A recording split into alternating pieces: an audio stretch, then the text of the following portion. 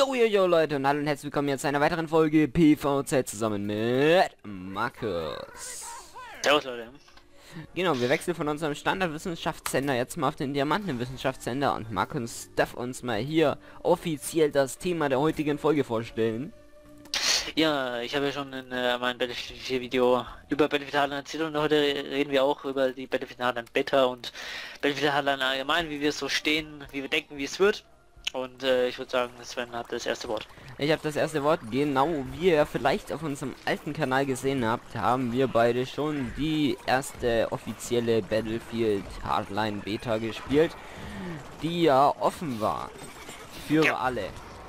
Haben wir auch ein paar Videos auf dem alten Kanal gehabt, das heißt für alle, die da mal Interesse haben, das sich vielleicht noch anzuschauen, könnt ihr auch gerne noch mal vorbeischauen, müsst ihr aber nicht, denn Jetzt kommen wir zum Punkt. Wir hoffen, dass wir wieder Zugang zu der jetzt kommenden Battlefield Hardline Beta bekommen.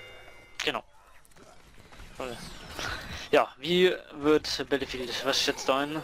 Also Hardline ist ja kein Militärshooter, was viele kritisieren, was ich jetzt sage, ja, ist mal was Neues, müssen wir mal was anderes probieren.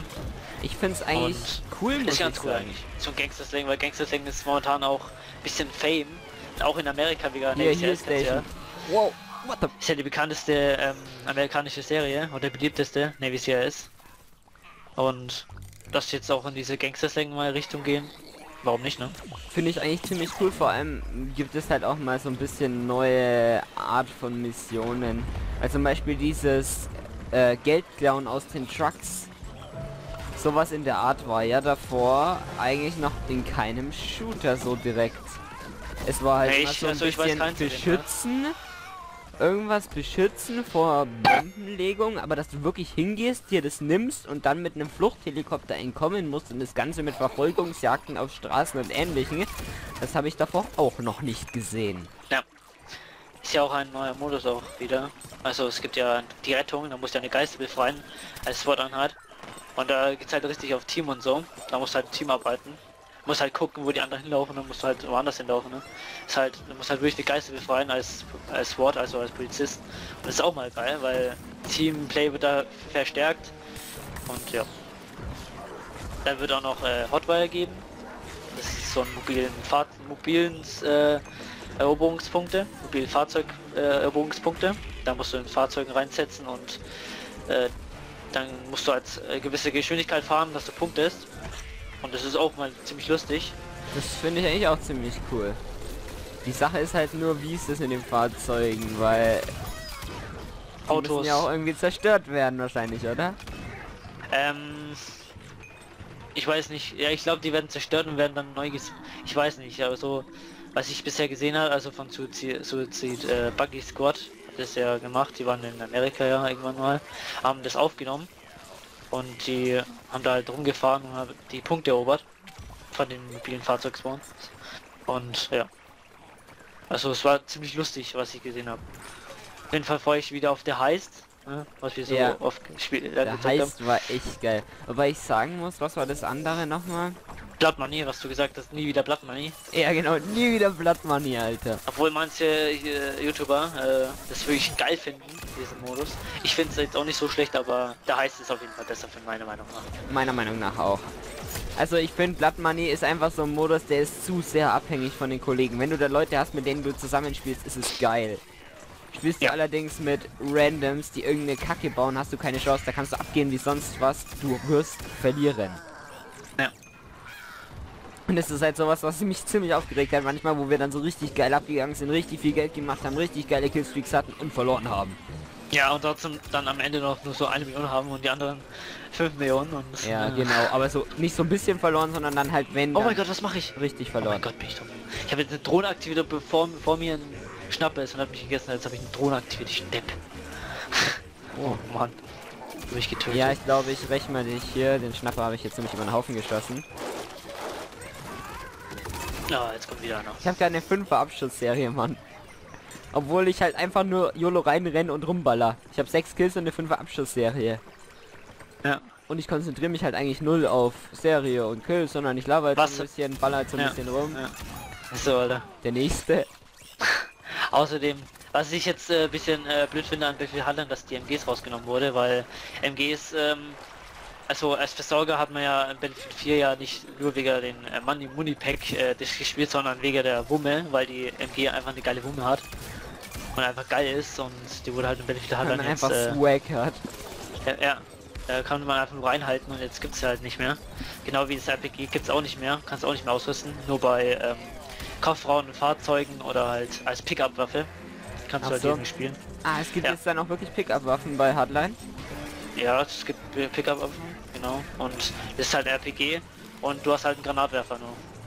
Zum Beispiel du hast als Polizist Granaten und als ähm, Banditen, wie heißen die Banditen hatten die gießen, oder?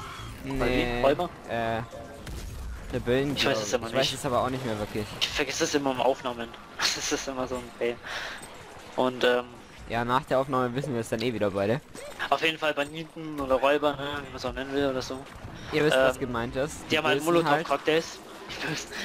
ja, die haben halt die Verbrecher. Ja, genau, Verbrecher. Verbrecher, ist gut ähm, formuliert. Die haben halt Molotow-Cocktails und ja. Ist halt wie bei Battlefield 3, jeder, jede, äh, zum Beispiel jedes Land hat ja auch andere Waffen gehabt. Und da wird es jetzt auch so sein, wie bei Battlefield 3, dass jede Fraktion andere Waffen hat. Ja. Wie halt was ich manchmal gut finde, so... Habe ich letztens erfahren. äh, was ich halt echt manchmal gut finde, aber manchmal muss ich auch sagen, regt es ziemlich auf, wenn man sich mit einer Waffe einspielt und dann kommt man ins andere Team und die Waffe hat eine komplett andere Statistik. Ja. Manchmal, manchmal regt es echt auf. Ich weiß jetzt nicht, eher so letzte Information, was ich davon gehabt habe, dass unterschiedliche Waffen alle haben, also dass manche nicht Waffen haben von denen haben, sondern äh, manche die, also Polizisten mal die Waffe nicht hat und die Verbrecher mal die Waffe Ja, nicht hat. mal die ist ja okay, aber wenn es jetzt so ist, dass wirklich alle Waffen komplett unterschiedlich sind, dann Nee, ist das es immer nicht. schon Es wurde, es wurde ja schon äh, bekannt, wie What. Ich hab's gesehen. Ich hab's gesehen, wie er sich hinter dir aufgeladen hat. Ich hab gerade noch Abstand zwischen mich und dich gebracht. Der mir den Arsch gerettet hat. So, den nächsten hier weggeräumt. Alter, wie ich dominiere. Ja schon- Kills, 600 wurden ja Münzen wäre wie der zweite. Ja, Mann. Und es wurde schon mit welche Waffen es geben wird. Also momentan. Noch welche Waffen. Ja. Auf jeden Fall. Ich. What? Starkkraut, Alter. Jetzt bin ich gestorben. Ja, auf jeden Fall. Ich, ich finde das Spiel Hammer. So, ich Ich werd's freue mich auch schon mega drauf. Nein, 4% hat er überlebt. Jetzt ist er tot. Ficker.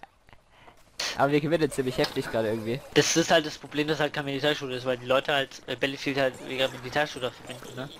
Und ja, ich finde das jetzt nicht so schlimm, mal was anderes sonst zu probieren, weil es kommt ja eh in Battlefield 5 2016, 2017 so und dann haben wir das wieder. Warum auch nicht? Mal was anderes. Oh, der Move war nice. Battlefield 4 ist ja eh noch nicht fertig, wisst ich also. Warum noch schon. Battlefield 5? Warum schon Battlefield 5? Genau. Battlefield 4 wird ja auch noch unterstützt ein Jahr. Mega Battlefield Hardline. Weil manche sind halt, ja, mal schauen, was wie es wird, oder manche sagen, nee, das ist nix, scheiße und so. Ne? Ja, viele haben halt echt diesen Kritikpunkt, dass es kein ähm, Militärshooter ist. Genau, mir ist es auch gerade gekommen. Weil halt viele einfach... Ich kann es zwar auch nicht wirklich verstehen, muss ich ganz ehrlich sagen, weil an dem Spielgefühl her ändert es nicht viel. Außer, dass es halt coole neue Möglichkeiten gibt für neue Modus und ähnliches. Viele sagen halt, dass, ähm, dass es eine coole Spielidee ist, aber man sollte es nicht Battlefield nennen, weil es einfach kein Militärshooter ist. Es hat den Namen eigentlich nicht würdig, weil Battlefield einfach Militärshooter ist. Was ich jetzt finde, ja, Ist ein bisschen mal- übertrieben. Ist jetzt ein bisschen übertrieben, das im Namen nicht, aber das macht ja DICE arbeitet ja immer noch an Battlefield 4, an Star Wars Battlefront arbeiten die auch noch. Und äh, ich finde, dass die jetzt da manche jetzt ein bisschen überziehen, dass sie jetzt sagen, ja, das ist kein Militärshooter, ist scheiße, ne? So, so kommt es manchmal vor. Also, Ja, so ist es glaube ich auch von vielen Battlefield-Fans gemeint. So, direkt ist scheiße. Ja. Okay, und da geht er als erstes ins Haus rein gleich. Da geht Also der Energy Warp, die OP-Waffe, die OP-Waffe, ja komm. Geschenkt. Auf jeden. Fall wird halt Battlefield 4, und- äh, also wird Battlefield Hardline den, den Start von Beef 3 oder B4 nie ähm, schaffen, glaube ich, dass sie halt wirklich so welche wirklich das Release wirklich fast ausverkauft ist oder so, ne? Werden sie halt nicht schaffen wie Battlefield oder Battlefield 3. Nee, mit Hardline denke ich nicht. Also da werden erst viele erst nachher bestellen. Also die großen User, zum Beispiel Chimpanse oder so, wahrsch- hat's wahrscheinlich schon vorbestellt, weil es ja muss ungefähr. Ja, ja aber, so. äh, das, Aber- das ist einfach so eine Sache. Ich persönlich finde das Spiel eigentlich saugeil. Tja, Weil für Ich mich muss das kein äh, Militärshooter Militärshooter sein. Ja. Es ist zwar schön und gut, dass es so bei Battlefield ist und ich habe nichts dagegen, dass es so ist. Beziehungsweise war dann halt bis jetzt. ja, Aber warum nicht mal was Neues? Ja, probieren. Wenn es halt nicht läuft, dann sagen sie, jo, nee, nicht mehr. Oder so, ne? Oh, überall diese scheiß Minen. Bin ich schon wieder fast verreckt. So, diesmal habe ich es aber.